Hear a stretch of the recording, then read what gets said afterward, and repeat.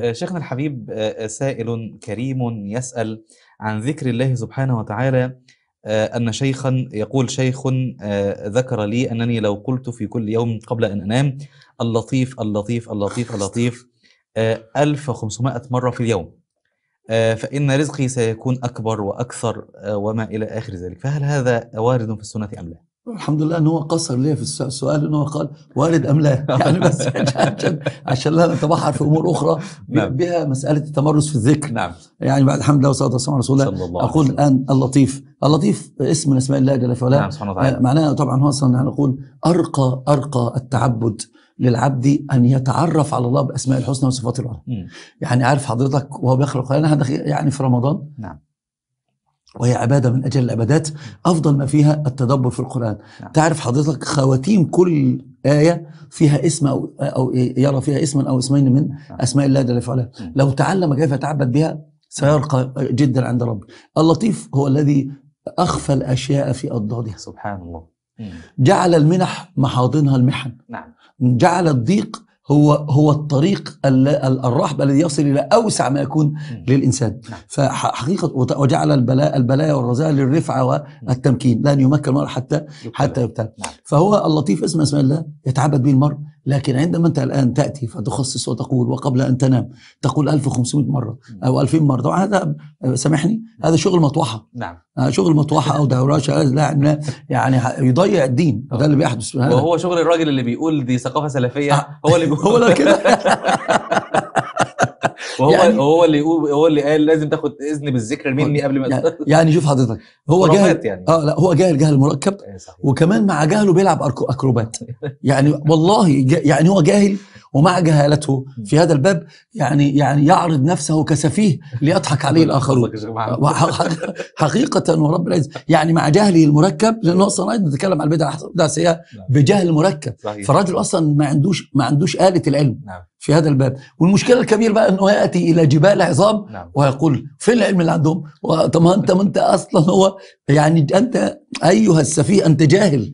كيف هتقيم عالم؟ عامه صراحة عندما تقول لطيف لطيف لطيف لطيف لطيف لطيف قل لي بالله عليك أصلا. وأنت شايفه وبعدين بي- لازم يشتغل الشغل هذا. وهيروح ويجي وبعد كده يعني يقع ويقول الفنا آه. الان سيبه بقى سرحان؟ لأنه مع الله الان هو أصلا ما هيموت. هيموت. هيلبسوا 100 جن. ده هو أصلا كده. يعني بيقف أصلا وينتفض ويقول مالك في إيه؟ أنا رايح أشوف النبي دلوقتي. أنا عايشين مع مجانين ناس ما عندهمش أصلا. لا أصول علمية ولا حتى في الفطر المركوزة في النف- النفوس تقبل التخاريف التي يقولونها. فالحاصل الحق أن هذا مبتدع ضال. آه. فذلك دي بدعة. وأنا أقول له عشان يتعلم يعني إيش بدعة وكيف بدعة يقول لك شوف السلفيه دول الوهابيه بدعة بدعة بدعة. أنا أقول لك تعالى أنا أتفق أنا وأنت على أرض صلبة. نعم. الأصل في العبادات والتشريع. توقيفي ولا المسألة مم. على على الهوى والذوق والوجه. ت- توقف طبعا. نعم. هو طبعا التوقيف والتشريع بالظبط. وما آتاكم الرسول فخذوه ما خذوه، فانتهوا نعم، نعم. وقال, أم لهم شركاء شرعوا لهم من الدين؟ ما لم يأذن ما لم يأذن به. الله. ألا له الخلق والأمر؟ تبارك الله رب العالمين. نعم. وإن أراد بحرا نعطيه لكن هو ما بيعرفش يسبح. حتى على الرمل ما بيعرفش يقف صدقنا على الرمال لا يعرف يقف فلذلك إحنا نسيبه كده يقف حيران لو عنده شيء نحن موجودين والساحة موجودة. ونحن نقول له تعال. نفع الله قدرك حقا بحيث إنه يتعلم. إحنا نريد نريد هدايته. ما نريد صحيح. والله إلا ذلك. صحيح. فحقيقة الأمر هذه بدعة ضلالة. يعني هذا هذا كأنه شوف اللوازم هو لا لا يلتزم بها. لكن شوف هو الآن نازع الله في الربوبية. نعم. لأنه شرع للناس آه، ذكرا لم يشرعه الله جل في علاه.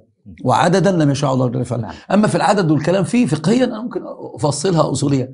لكن مثله لا يحتمل التفصيل نعم. العلمي لكن أبين له أنه الآن أنت ستذكر الله جل في علاه وأنت أعطيت عددا مخصوصا في هذا الباب نعم. يعني من أين أتيت بهذا؟ أليس هذا من التعبد؟ أليس هذا من التوقيف في هذا الباب؟ عارف لما يجي يتكلم يقول لك إيه؟ والمنطق قال يعني الراجل جاي جاي, يقول من اليونان. يقول قال الله. ما. يستطيع. صحيح لا يستطيع. فلاسفه هؤلاء القوم أعيتهم الآثار. نعم. لا يستطيع. والعلم قال الله قال رسوله. صحيح. قال الصحابة ليس بالتميم العلم الأسبق للخلاف سفاة بين الرسول وبين قول فقيه. نعم. العلم حدثنا أنبأنا أخبرنا وإلا فخل وبقل ما عنده علم أصلا. صحيح. ولا فلس- والفلسفة لن تفيده. والمنطق اللي يقول به صحيح. ذاهب ويجيء. ما ما تفيده.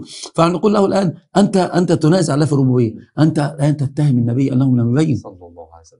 يعني لما يكون لطيف هذا ويبقى فيها بقى أنا أعيش الأيام كما قلت لحضرتك هو قال رزق و- نعم. وغير صح كده؟ نعم. يبقى النبي حرمنا من هذا. لما لم يبين النبي صلى الله عليه وسلم حرمنا من مع وسلم. إن أصلا النبي صلى الله عليه وسلم أرحم الأمة و- بالأمة. وجاء في السنة ما يكفي ويزيد يعني. الله يرضى عنك. وفي القرآن فقل استغفروا ربكم الله يرضى عنك. الله يرضى عنك. نعم. الله يرضى عنك. والمسألة أنا أقول أنا أقول له انت أنت اختصصت اسما معينا نعم. وأعطيت له عددا معينا. البدع عندك في هذا. عشان ما تلبسش على الناس تقول الله الله الله الله. مش مش قال الله تعالى والذاكرين الله كثيرا والذاكرات. فنقول له المهم تلعب ما تلعبش علينا. لأن أصلا أيضا نفهم أنك لا تستطيع أن تدور وتحول معنا. فالحاصل أنت خصصت اسما وخصصت عددا.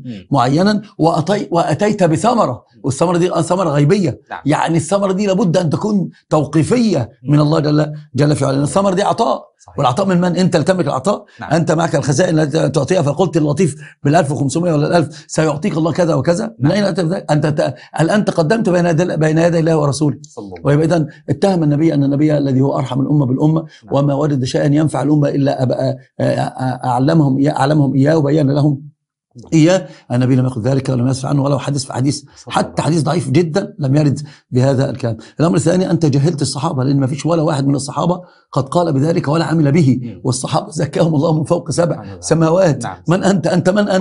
أم أنت؟ أنت من أنت؟ هؤلاء القوم الذين اختارهم الله جل في علاه وزكاهم وألزمهم كلمة التقوى وكانوا أحق بها. وأهلها. رضي الله عنهم ورضوا ورضوا عنه. ثم جاء لمن جاء بعدهم؟ يقولون ربنا اغفر لنا ولإخواننا الذين سبقونا بالإيمان. الذي الذين قال فيهم النبي خير الناس قرني ثم الذين يلونهم ثم الذين نعم. يلونهم. مم. ولا واحد منهم يقول بما تقول. صحيح. من أين أتيت أنت بهذا؟ نعم ربنا يشفي يا آه. رب. العالمين نعم صحيح. يشفي مرضانا ومرضى أنا- المسلمين. نعم هذا صحيح. إيه صحيح. هذا حق. هذا حق.